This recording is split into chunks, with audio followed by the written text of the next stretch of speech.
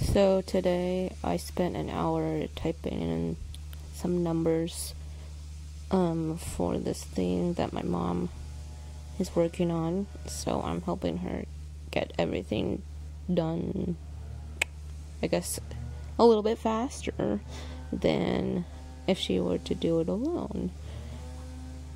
Yeah, so thought this would be a good video to make.